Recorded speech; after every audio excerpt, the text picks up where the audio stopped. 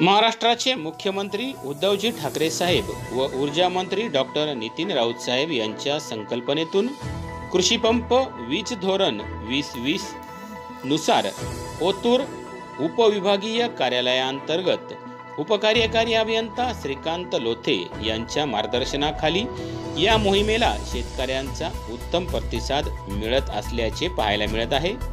आळे बेल्ले राजुरी आणे या ठिकाणच्या शेतकऱ्यांनी या योजनेचा जास्त फायदा घ्यावा असे महावितरणच्या वतीने सांगण्यात येत आहे. तीस मीटरच्या आत सर्व कृषी ग्राहकांना तात्काळ वीज कनेक्शन मिळणार असल्याचे सहाय्यक अभियंता बेल्ले शाखा रोहित गांधी यांनी यावेळी सांगितले.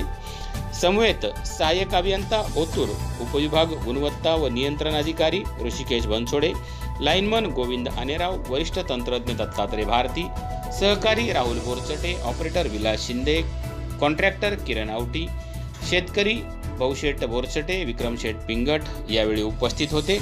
शेतकऱ्यांनी या योजनेचा लाभ घ्यावा असे आवाहन सहाय्यक अभियंता रोहित गांधी यांच्या वतीने करण्यात आले. या बातमीचा आढावा घेतला आहे आय न्यूजचे कार्यकारी संपादक गणेश चोरे यांनी. महाराष्ट्र शासनाने कृषी वीज धोरण वीस वीस ही योजना शेतकऱ्यांसाठी आज नवसंजीवनी घेऊन येते की काय असं वाटतं आहे नक्की ही योजना काय आहे? शेतकऱ्यांना याचा कोणत्या प्रकारे लाभ होणार आहेत? माझ्याबरोबर आळेफाटा येथील सहाय्यक अभियंता गांधी साहेब आहेत. आपल्याला त्यांच्याशी चर्चा करायची साहेब नक्की ही योजना काय आहे? सर्वात प्रथम जुन्नर तालुक्यातील सर्व महावितरणच्या ग्राहकांना माझा नमस्कार. ही योजना महाराष्ट्र गव्हर्मेंटनी डिक्लेअर केलेली आहे. या योजनेनुसार जे दोन हजार वीसपर्यंत सप्टेंबर दोन हजार वीसपर्यंत जे वीज ग्राहक थकबाकीत होते ए जीचे त्यांना जी अमाऊंट असेल त्याच्या fifty percent amount principal amount भरणे आहे. आणि तसंच त्याच्यावरची जी वीज बिलाचं जे दंड किंवा व्याज आहे ते पूर्णपणे माफ होणार आहे.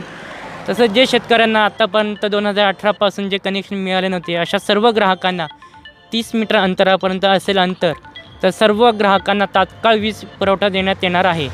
तसेच तीस मीटर ते दोनशे मीटर अंतरापर्यंत जे एनची कनेक्शन असतील त्यांना एअरबंच केबलद्वारे कनेक्शन देण्यात येईल.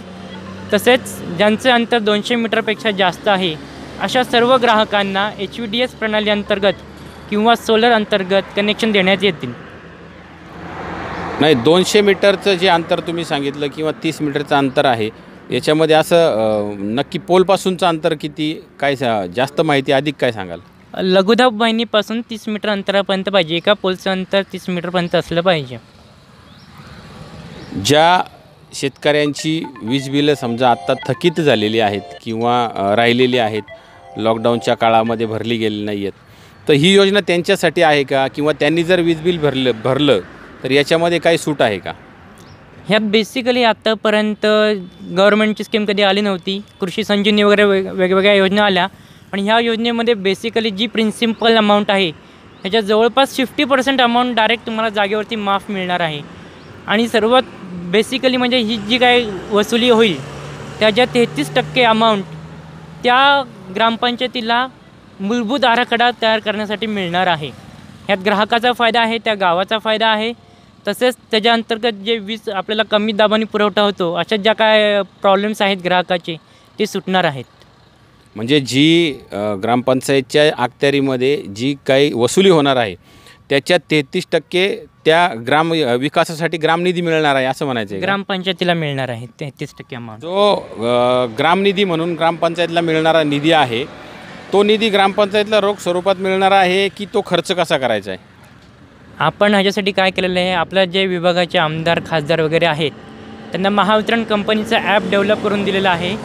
त्या ॲप थ्रू आपण ते खासदार आमदार जे काही मूलभूत आराखडा करायचा आहे ते प्रपोज करणार आहेत. आणि त्यानुसार ग्रामपंचायतीमध्ये त्याचं रूपांतर करून काम करण्यात येईल.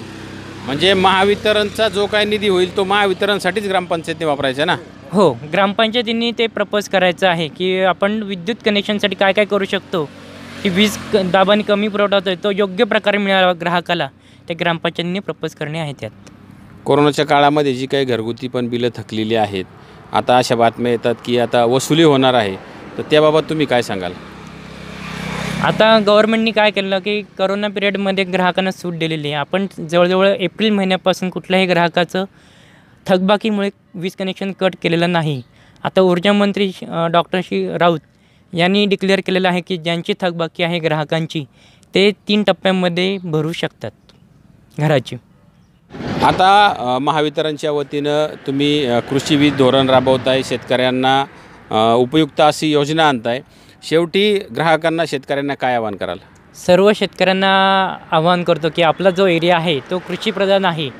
सर्व शेतकऱ्यांनी आवाहन करतो की त्यांनी वीज बिल टायमात भरा आणि शेत गव्हर्मेंटनी जी स्कीम डिक्लेअर केलेली आहे त्याचा योग्य फायदा घ्या. जेणेकरून ट्रान्सफॉर्म फेल्युअर्स आपलं कमी होईल आणि सर्व शेतकऱ्यांना चोवीस तास वीज पुरवठा मिळणे देणे शक्य होईल. महावितरणच्या वतीनं साहेबांचं आव्हान आहे की वीज बिल भरा आणि महावितरणला सहकार्य करा. या कृषीपंप वीज धोरण वीस वीसचा प्रत्येक शेतकऱ्यांनी लाभ घ्यावा असं या ठिकाणी गांधी साहेबांचं म्हणणं आहे. कॅमेरा पर्सन राहुल गाडगेसह Ganesh Chore I one news बेल्ले.